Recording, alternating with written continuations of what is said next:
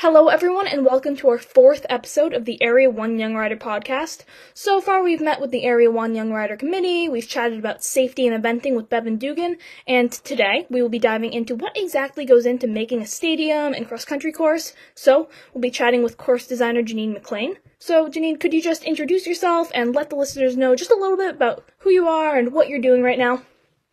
Hi, I am Janine McClain, and um, I have been a course designer since just the beginning of the course design program. Um, so in the early 90s is when I became a course designer. Um, so I do uh, cross country courses and some show jumping courses, um, setting up events, and um, just the responsibility is basically knowing where all the jumps are going to go for any given event. And I've done a lot in Area 1, I've done some in uh, Area 2 um, and in, in, the past in Area 3 as well. So I am ready to ask and answer anything that you guys want to know about, if I can. yeah, that's awesome. I, I didn't know. So course designing started kind of in the 90s? Yes, yes. The, there was, uh, that's when we started to get um, an official uh, qualification program going on. So um, early on, it was really people that knew how to ride and um, people who were willing to just go ahead and do the work. So prior to, I think, must have been like 93 or 4 is when uh, an official called the course designer began. That's really interesting. I didn't know that. So, yeah. could you just give the listeners who might not know full well um, an explanation of what a course designer is? Sure. Um, course designer is a proper official. Um, we're trained with uh, education programs and continuing ed. Uh, we are responsible for actually, in fact, ultimately every single jump that is on an event ground that is being used in the competition. So we have to know uh, where all the jumps are, and that includes the show jumping, the cross country, and all the warm up areas.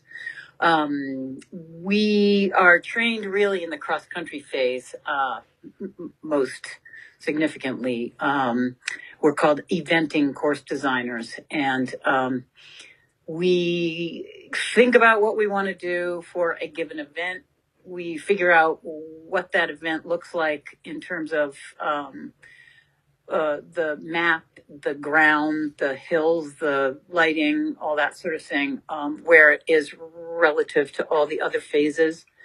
Um, we make up courses. We supervise setting the courses. Um, and we are ultimately ex- uh, expected to know um, about the show jumping as well. Uh, originally, the, cross country course designer would set the show jumping as well. Then recently we've come to um, utilize specific show jump course designers. Um, but the cross country slash eventing designer has to be responsible for making sure it's all um, properly set up. Awesome. So, out of curiosity, how did you get into eventing? Like, what introduced you to it? Um, well, when I was a kid, I rode the crazy, you know, run around on the trails and fall off and ride bareback and, you know, play cowboys and Indians and do all that kind of thing. Um, and then as I got into my sort of early teens, I rode hunters and jumpers. And, um, then I went to UNH and UNH really was my o- official introduction to eventing. Um, Janet Briggs ran a program there, and she amazingly has uh, produced a number of people in the sport that are still participating as judges, volunteers, um, TDs, course designers. So a lot of people that came through the UNH program under Janet Briggs are still really involved in the sport, especially in Area One, which is great fun. And um, a lot of us went to school together. So I got introduced to eventing as a competitive sport for myself there.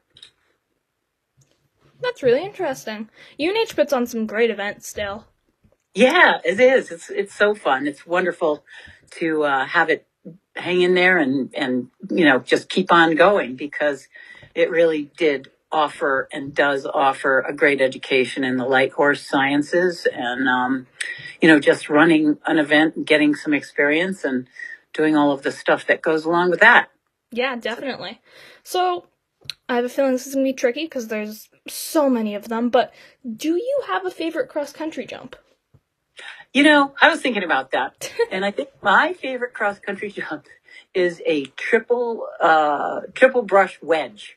Oh, I, that is the coolest jump because uh, the shape of it is sort of a ramped shape. It's also a narrow jump, and it has brush on it, so it has all kinds of useful aspects. Um, so you know. Uh, the brush is great because you can make it big and um, the narrowness is great because it demands a lot of accuracy and the shape of it is great because it's um, it's got a sloped face so it's got a basically a a jumpable shape which uh, en- enables the horses to be able to get up in the air and um, you can use it in all sorts of ways to teach about steering and kind of get educated about narrow jumps um, starting from little beginner novice ones to uh, advanced ones. So it's it's a it's a wonderful jump uh, for educating horses and riders. Oh, that's super interesting. yeah.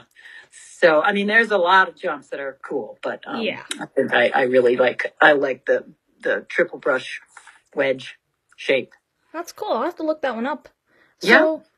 I you know I know all of them are different in their own awesome ways, but do you have a favorite Area One event venue that you've designed for in the past?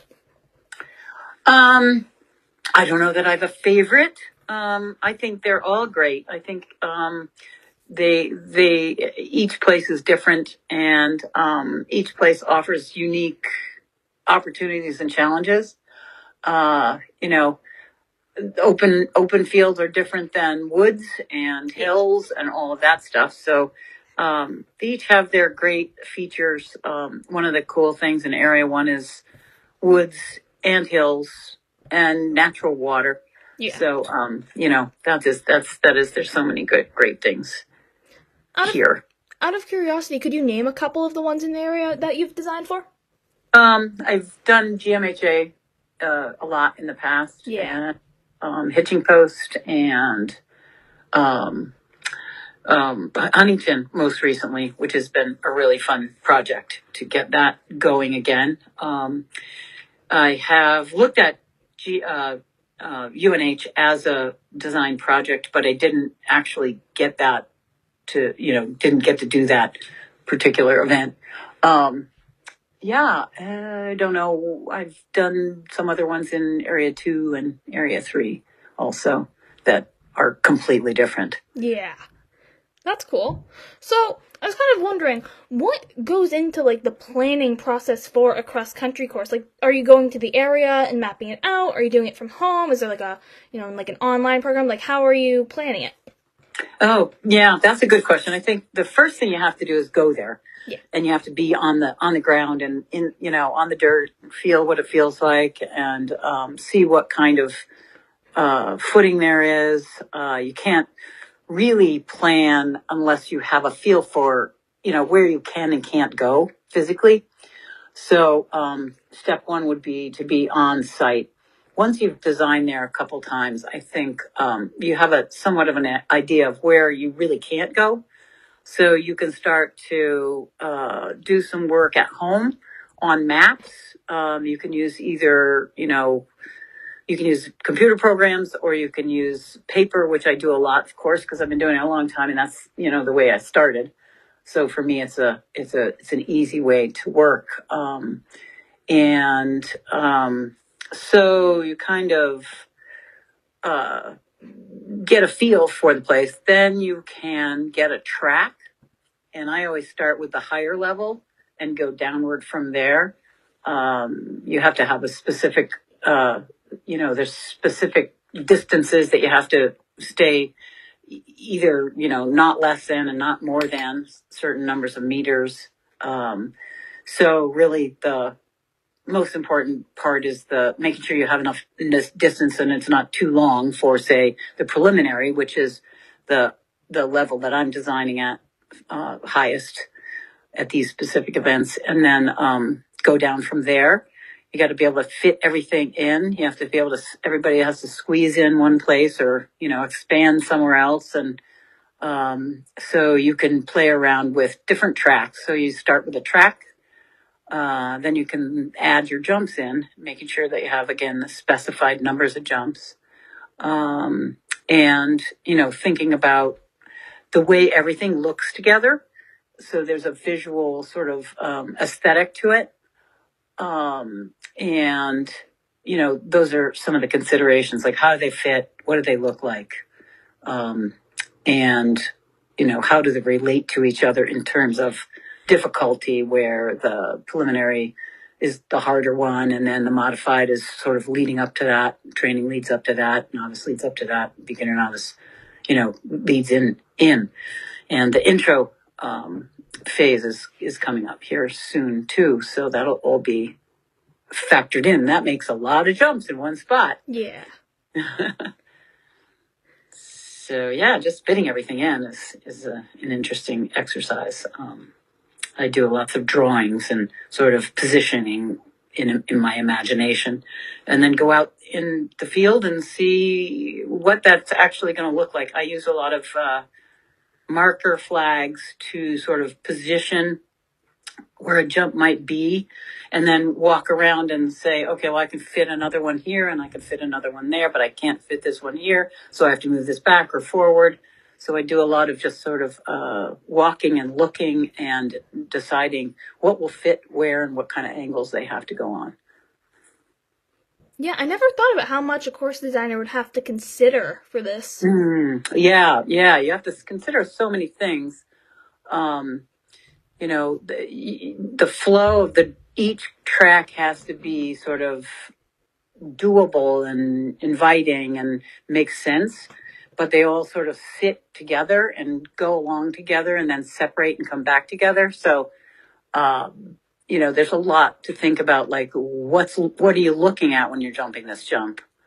Um, you know, where are you going next? What's in your way? Where did you come from? And all that sort of thing. So it's a lot of looking and changing and sort of adjusting things. Yeah. So I was actually just thinking, how do you come up with because you have to come up with like an optimum time and like a maximum and minimum. Do you do that? Yep, yep. Um, that's one of the key things when you start imagining what track you might want. You then have to get to the site and actually measure the track. Like we use GPS. Mm. Um, you we used to always use a wheel, so you'd have to you know use a, a measuring wheel.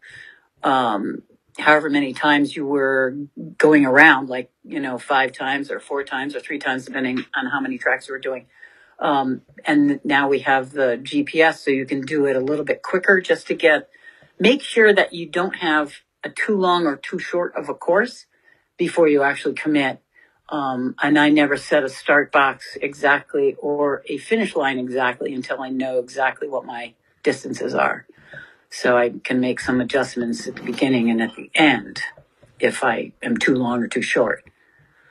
Um, so yeah, yeah, and then we know exactly where we want the riders to go. Like we will plan like we're going to go from one to two, and it's a big arc to the right, you know, and, and we don't draw a straight line from one to two. We make it, we measure the arc that we want the riders to go on, um, which is always based on um, safety and sensibility and you know making sure that you ride a turn comfortably um, and all of that stuff. So so the distance that you'll see for uh, any given course is what the course designer hopes the riders will do to get around smoothly.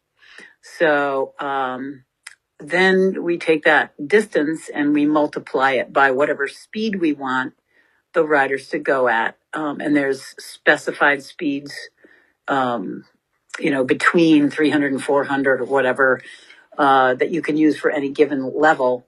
So you decide what speed that's going to be because it might be spring and nobody's going to go too fast, or it might be a really sort of open course and you want everybody to go to the fastest uh, allowable, or maybe it's, you know, very complicated and you want them to take their time, so you go on the slowest uh, speed that you're allowed. But w- then you do a calculation that gives you the optimum time, and then there's speed there's speed fault times and time limits. So those things are all in the in the rule book, um, in the appendixes, so you can see what those are. But that I refer to those things all the time, just to make sure I've you know I've got the right numbers.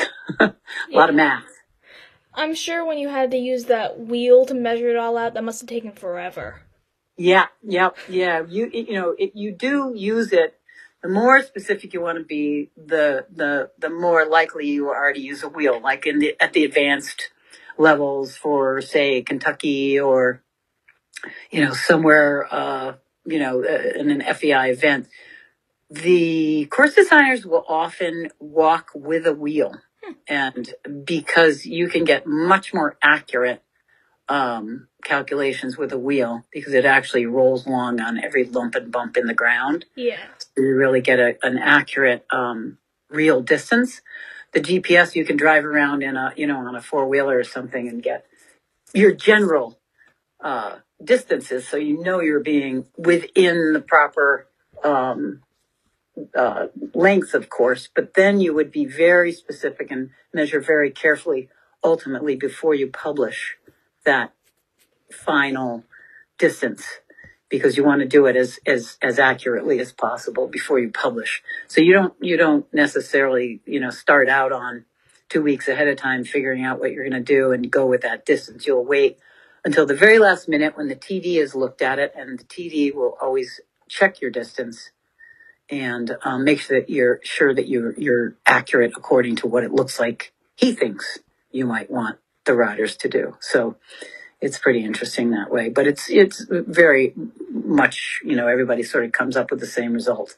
So everybody's usually pretty happy with things, and if not, we make adjustments. We might move a jump. We might take a jump out. We might shift something around before three o'clock on Friday. You know when the course opens. So yeah, there's lots of checks and balances. Yeah.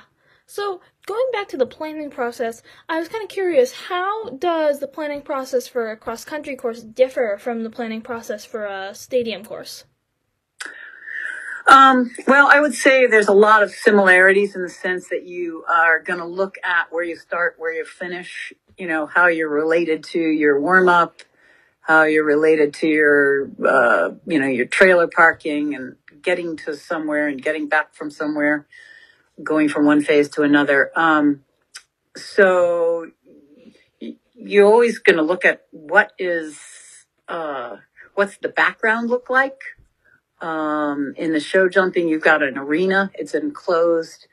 It might have black fencing. It might have white fencing. It might have, um, you know, just a tape fence on it. Um, you might be looking at some cows. You might be looking at, you know, a mountain. You might be looking at a building. So when you plan your show jumping course, you're going to always consider, you know, what are you looking at when you're jumping the jump? Um, how does the turn work? Um, and it, things come up much faster. So there's certain uh, limits and certain um, oh sensitivities, I'd say, uh, to the show jumping because everything happens so much faster. Um, all the jumps are closer together. You're in a tighter space, um, you're you're riding at a slower speed, um, generally speaking, uh, and so also in area one, sometimes there is terrain involved with the show jumping as well, which is pretty significant. Um, going a little bit uphill or a little bit downhill does affect the way distances ride and the way jumps come up and how, you know, what shape and size you want your jumps to be um, you know, an auxiliary versus, versus a vertical will uh, will be placed differently according to even just like how the ground is in your show jumping. So um, very, it's very similar, um, but there there are two different phases. They're two different um, skill sets. So um, that stuff ta- is taken into account. It's all related in the show jumping. Um, in the cross country, a lot of it's related, but not in such a quick way. Um, so those the distances and numbers of strides and all of that sort of thing in the show jumping is really key to plan for and set for. Um, that maybe is the main, you know, the main real difference is is how specific you have to be, and that's it's truly specific. so um, yeah, That's really cool how like how technical all this is. That's super interesting. Yeah, yeah, it really is. There's an awful lot of things to think about. Um, you know, you're going to think about what the weather is going to be. You're going to think about uh, what time of day each level is running because you can have shadows affect things. Um, you know, you're thinking about what time of year it is. Uh, what event just did everybody come from and what event are they going to next? Yeah, Uh, so yeah, yeah. That's super cool. So Hmm. how how do you go about setting up the course itself? Like, and especially like, are you building new jumps? What's going on with all of that? Um, going about setting up the jumps, um, you know, we each venue has sort of permanent features. Mhm.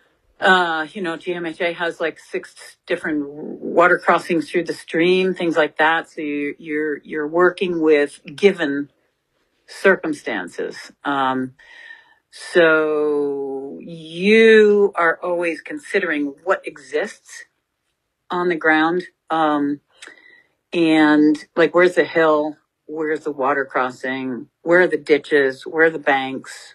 The things that are built permanently into the ground.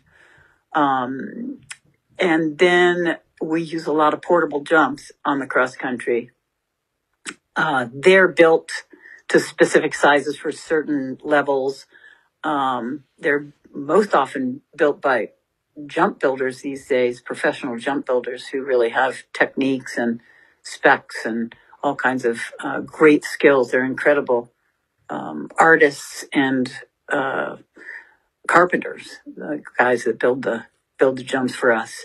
And we usually collaborate. Um, you know, uh, we'll say, "Oh, we should have some more house shaped jumps," or "We should have some more open oxers," or "We should have a little bit of." uh, some new jumps, but we can't afford to build fancy ones. So let's get uh, 16 logs and build some log jumps.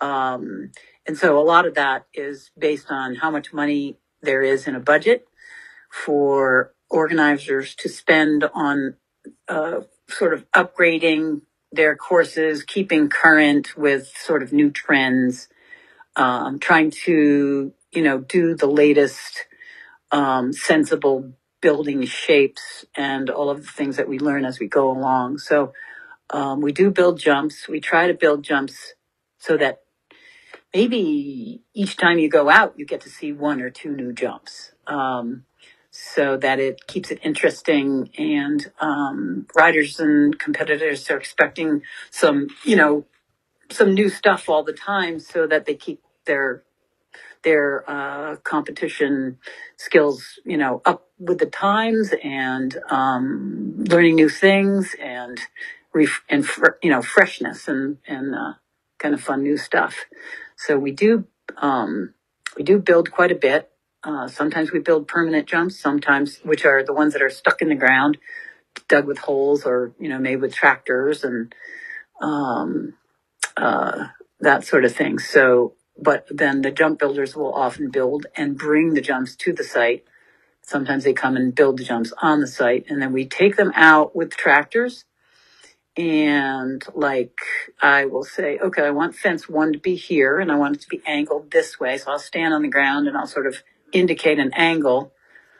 Um, based on what you know what I want like the next jump to be and what the arc should be and what's in the background and all that. So then the um, somebody will drive a tractor with carrying a jump on forks and set it on the ground and we'll you know say okay that's good or let's push it a little left or a little right. So there's some um, mechanical setup done with machinery um, and um, sometimes you know, uh, somebody will just set the jumps themselves if they're the uh, course designer and the builder. Um, so there's one person involved. Um, and you, you're always going to, as a course designer, look at that jump in place as if you're going to jump it yourself and say, okay, this feels comfortable. I think this is good. Or, oh, there's a hole on the left side. Let's move it over to the right a little bit. Um, so there's uh, the again looking be- boots on the ground, making sure you know as many things as you can about the footing and the direction and all of that. So um, so we you know takes us several days to set that kind of a you know do that setup with the portable jumps, even if we don't build anything new. It's a it's a number of days to to get everything in place, and um, sometimes and we adjust things you know, three days in, we'll go, oh, whoops, that didn't work, or, you know, that's too tight, or that's, you know, making them think they jumped the beginner novice after they jumped their jump, or whatever. So, um, lots of shifting and moving. Um, yeah, so physical, just getting out there and seeing where things go and using machinery. Yeah, that's so cool. You know, you kind of mentioned something about, you know, keeping like trendy and fun, and that just, I couldn't help but think, um, I think it was Millbrook earlier in this season, um, at one of their competitions, they customized one of their jumps, they painted it all pink, and, um, they decorated, they decorated it, and they had like a Barbie jump. And I thought that was yep. so funny and so creative. it's so great. I know it is. I remember that jump. That was wonderful. Um, but yeah, it is. It's really fun to, um, you know, to be creative that way. Yeah. Um, yeah, yeah, and that's that. That's one of the greatest things is you know there's a lot of aesthetics and um, just some fun ideas and and um, you know like setting a bunch of house jumps to make it look like a village or whatever like that. So there's there's all sorts of fun things like that. So yeah, the Barbie jump that was great. so when it's kind of back to the planning process, I guess, but when you're planning a course, as the designer, what are you trying to factor in about safety for the horse and the rider? And you know, like, could you maybe think think of like an example of an unsafe course design? Um, let's see. Safety is like the number one thing. Yeah. Uh, gotta say, um, always, always, and um, we we're constantly concerned with that. Everybody is, and um, so course designers talk to each other. Um, we learn from each other. We observe what other people have done. Um, we get information from our mentors about what they think is, you know, something. Don't do this or don't do that or whatever. You know, we've we've seen problems with this or that. So you try to gather and keep your ears open for every bit of information you can about what works safety wise and what's not so smart. Um, so, uh, you know, the other factor with that is um, that when the TD and the head of the ground jury judge comes to see the event right before it gets opened up for everybody to walk, um, the the TD gets there the day earlier and does a lot of measuring and and um, and anything that is um, uncomfortable to that person uh, is brought to the attention of the course designer. Anything that the course designer has a question about, maybe, what do you think about this? Uh, we'll say to the TD, you know, what do you think about this? And then they'll have a discussion. If, um, when the, the head of the ground jury gets there, they take a look at everything and everybody discusses everything and um, comes to a comfortable place with where everything is. So um, there's not just one set of eyes on the situation. Uh, the other factor is that we have the rider reps, and we invite them to come and you know take a good look around, so that they get a feel for what the course looks like. Um, and then we you know we encourage riders to say, "Oh, I don't like this," to the rider rep, and the rider rep will meet with the officials and say, "We don't like this," and then everybody decides should it change? Should it not change? Um, so a lot of um, cooperation and collaboration goes into the final product. Um, and, you know, we hope that people will speak up if they don't like something um, and have a discussion about things. Um, I've seen riders at the very top levels go to the course designer and say, "What do you think I should? What do, you know? What are you thinking here? Are you um, thinking we should do this in five or four, uh, or you know, like that?" So that there is a there should be a comfort level in competitors asking questions, saying, "How how am I supposed to ride this?" Even to the course designer, you know, and the course designer will I say says something like, "Well, I think you should come out of the trees over here."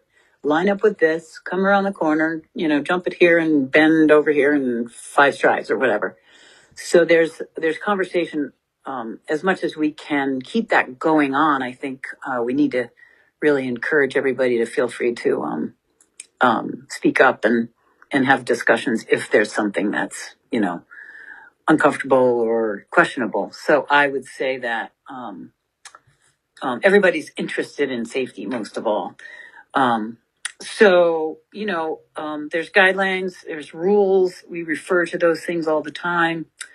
Um, and, uh, you know, we as designers want success. We want everybody to, to win and everybody to be happy and learn something and, um, enjoy, you know, the fun sport that, that we have. So it's, it's, uh, definitely, um, everyone's always continuously working on safety. Um, yeah, so unsafe course design, I don't know. I think um, I think that we are learning so much about shapes of jumps um, that in the past we've seen jumps that are built sort of big square, you know, super wide, straight up and down vertical with a sharp front edge, you know, like a table or something like that. Um, we've learned over time that we really should be softening the front edges of the jumps. We should be identifying the front edge of those jumps. Um, probably a, a bad idea is kind of a long, straight downhill approach, not necessarily steep downhill, but even just sort of descending ground to a big square um, table with the flags in the middle on, on each side of it or um, ideally you would have a 45 degree front edge and you'd have a flag on all four corners so that the horses have information and you've also got a forgiving shape in case somebody rubbed it. Um, so I think, um, you know, just being careful of the shapes of jumps and, you know, sizes and where they go and all the stuff that you, you try to study and try to learn um, in education programs and, and from everybody who's talking about it. So that would be my my fit my least favorite piece. Like kind of long straight run to a big square unforgiving edge. Yeah. So I think especially with like asking questions and making a discussion whenever you have a concern, it's that's just so important. You know, there's no reason not to do it, and whatever mm-hmm. you ask, you'll def- you'll get something out of that conversation. And it doesn't matter, you know, if you're an upper level rider or you're just starting out. Ask the questions. Nobody's gonna be upset or anything about it. You'll definitely learn something new. So. Yeah. Yeah, everybody, because you know everybody has a different set of eyes, a different set of experience. So, you know, when you get together and talk about things, um, everybody does have uh, a legitimate reason for speaking. and um, everybody will be able to be helpful in that discussion. Like you say, it's um, everybody's everybody's experience counts up to a lot of um, good information. So yeah, yeah, it's a it's a it's a team effort for sure. Yeah. So, what levels have you designed for? Um, I've mostly spent my time doing preliminary and down. Mm. Um, I've done uh, intermediate uh, show jumping design, um, you know, because I, am qualified to do that as well. Um, so yeah, mostly mo- most of my career has been spent in the in the lower level educational um, uh, position where which I really enjoy because I think education is everything. So, what would you say have you, like what are the major differences that you'll notice between you know those like lower levels and those upper you know preliminary levels, um, especially in like the elements and the types of combinations that you're seeing? Um. So definitely, um, the lower levels I believe should be educational, and in that regard, they should be, you know, the horses and the riders should be seeing different shapes and um, different angles, like turning left, turning right, um, you know, going uphill, going downhill, uh, doing um, lots of different approaches, um, colors, you know, different um, different things that you see, and nothing should be tricky.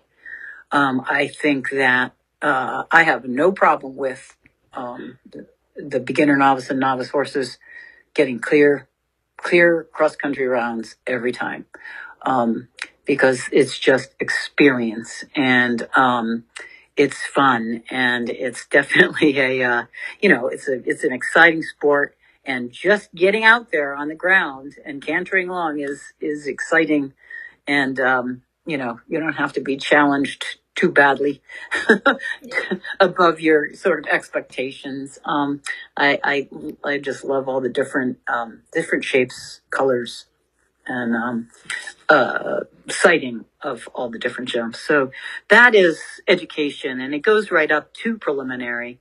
Um, uh, you know, it as as we get up to preliminary and and beyond that, it, it starts to be a little bit of an examination of skill, um, of boldness, of trust, um, of footwork, of quick quickness of mind. Um, so uh, the this the you know jump widths, the face widths get narrower as you get up there. Um, and uh, you know a six foot narrow, so you have six feet of jumpable width at preliminary becomes you know challenging. So um, when you put those things on turns and you give yourself you know fewer steps to make adjustments, um, you know quickness comes into play, gymnastic ability. Um, you know, practicing at home over gymnastics and series of lines of jumps with, you know, one strides and two strides and three strides in between. All those things educate for that kind of um, skill. And I think that that is probably really a critical factor is the homework factor. Um, so you would expect that somebody going training and up would be practicing those kind of things. Um, you know, of course, at novice, you can have a two stride combination anywhere. Um, so, uh, you know, you have to be comfortable with those things as you go out there and start to compete. So, um, the expectation is for the uh, homework to be done. Um, practicing is is is a great thing. Um, so as you go up the levels, just more skill sets with steering and speed control and length of stride. You know, having practice, like knowing if two jumps are set X distance apart, that your horse is going to put in six strides or five strides or seven strides. Um, just getting a feel for what your horse does in given distances um, is really helpful. And um, and then also just practicing steering. I really uh, consider all the time um, steering with both legs and both hands, like not just pulling on one rein to get somewhere. Um, so those kind of skills, I'm always trying to think, okay, how can, you know, how can this ride, rider at this level get that done without, you know, without, with being smooth again? Kind of think of smoothness and rhythm. Um, so, um, you know, you start to get a little bit more testing when you get to prelim. And then, of course, when you go to intermediate, it's more so, and advanced becomes, um, a, you know, a test of, of boldness and um, quick reactions and, um, you know, judgment about speed and that sort of thing. Um, so I think, you know, as in any sport, as you go up the levels, you, you, it's much more demanding of practice and, and uh, education you know, understanding like how does my horse act in this situation.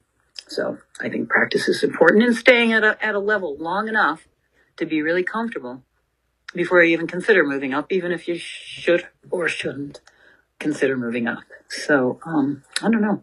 Hopefully that answers a little bit my thoughts on that. No, that answers a ton. I, I really agree with the practice thing. You know, just looking, taking a look with your trainer about, you know, the level that you're at and what you're going to be seeing on those courses at competitions. And as you put it, just doing that homework, making sure that you are able to effectively and safely do it at home before you take that to a competition is just so important. Yeah, I think it's really, really important. And um, practice makes perfect, and perfect practice makes perfect even more often. Yeah, um, yeah and just, uh, you know, being able to have somebody to help you out, make decisions, help educate you, go with you, um, you know, and, and uh, like I said earlier, in the course design and setting up as a team effort. And I think really eventers, we really kind of have that idea anyway, because we all root for each other. So we're all on the same team. So the more practice and the more camaraderie and more sharing of experience we have, the better. Yeah, definitely. So, last episode, I filmed, I spoke with Bevan Dugan, and I had been asking her about frangible fences, and she started to talk a bit about them. And one of the things she mentioned was something about this system on the frangible fences. Um, it was some like you know marking or like code on the frangible fences to determine like a specific level or um, I don't know like yeah mode of them and she said i should ask a course designer about that so i was just kind of curious what you had to say about that um, well we're finding that frangible fences which are deformable or breakaway yeah. fences have really uh, improved the statistics of like injuries and and um, you know problems uh, with falling um, over over the time that we've been using them and um, the original um, breakaway thing was a, a, pin, an aluminum pin that, given enough force, that we would put um, a log on top of a pin that was stuck into another upright post. Um, and with a certain amount of force, that pin would break away. And then you could pop, pop that out and put a new pin in for the next horse. Um, so that started the whole idea of pressure and testing. And there's been a lot of um, tons and tons of scientific research put in to it. And there's a lot of information on the safety and education uh, section of the USEA uh, website. Uh, you can get very scientific. Um, I'm not very scientific about it, but um, my you know, my experience is that it's a really good idea to, when we build new jumps, uh, incorporate the frangible technology. Um, it is expensive. There are grants given to e- events uh, if the organizers will um, ask for those um, support systems. Um, the we can get uh, kits to build jumps that are the frangible type. And we, you know, as we go through time, we're getting more and more demanding about must have uh, frangible technology uh, in new jumps at um, training level and above, modified and above.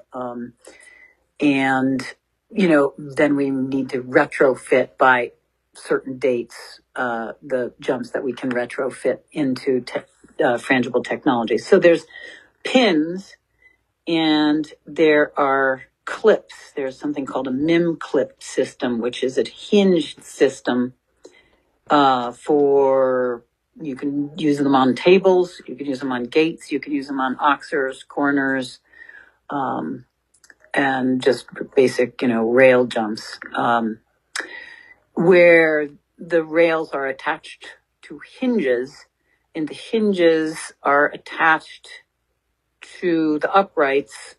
So the hinges carry the rail, the top rail or the top element.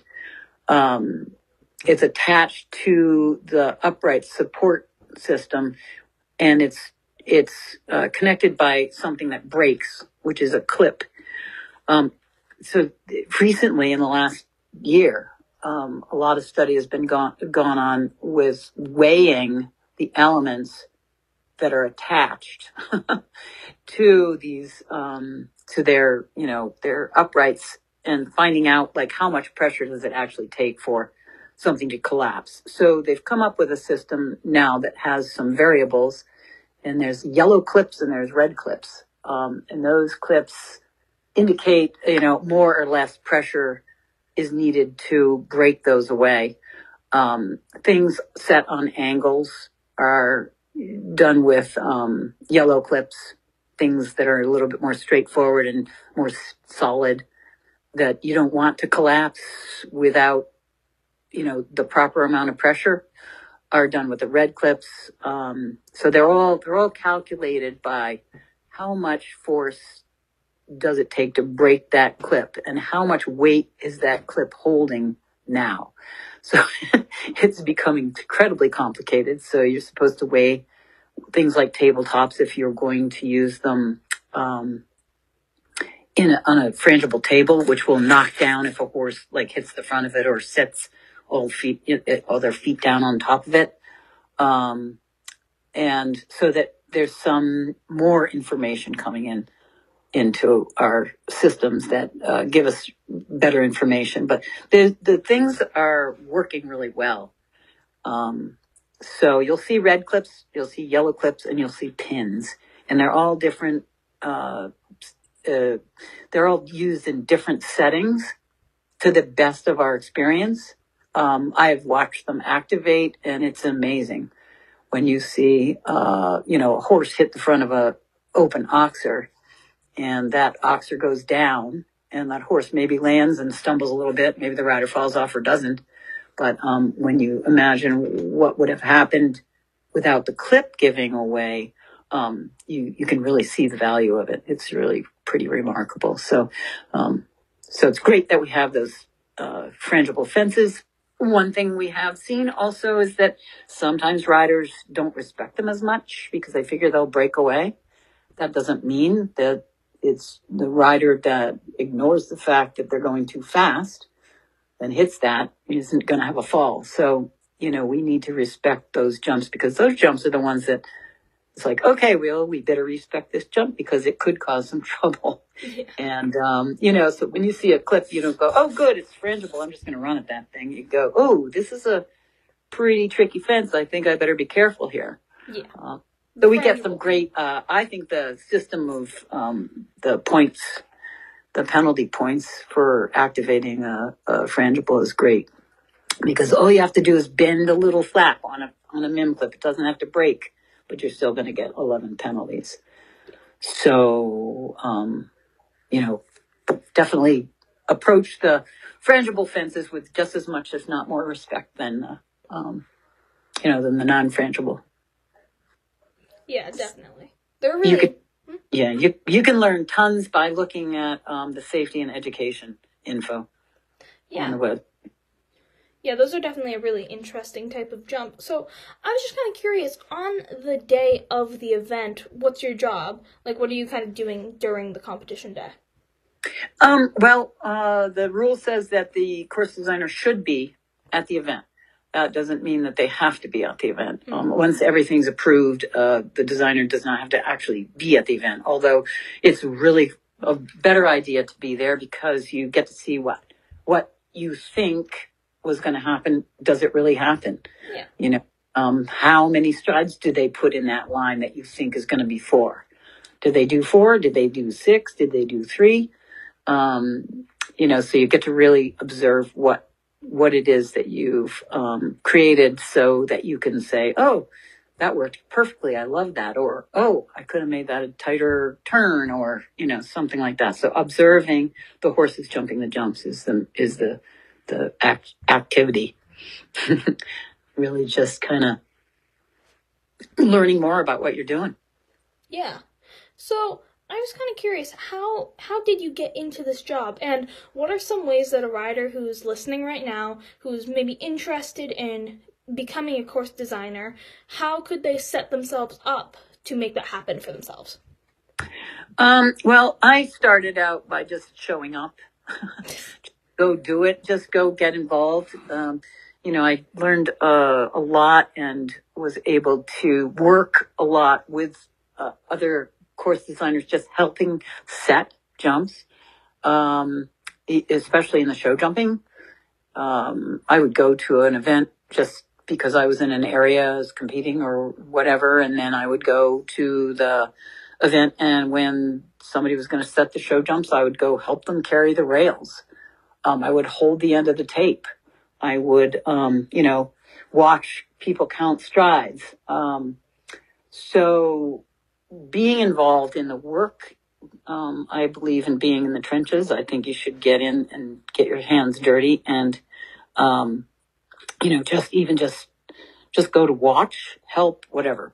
Um, but there are uh, training programs that are most significant um, for any official, but course designers have a training uh, program that is, uh, again, in the education section. Um, you can learn all about that. Um, it gives you all sorts of criteria.